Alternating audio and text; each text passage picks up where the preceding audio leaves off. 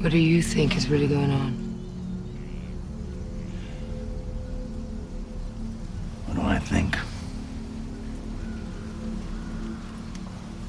Spetsnaz, Alpha Group, Los Zetas, cartel enforcer, RUF, it's a death squad from Sierra Leone, Yakuza, and the Gawakai.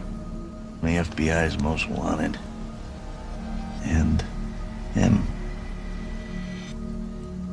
They're all heavy hitters. He doesn't belong. Belong to what?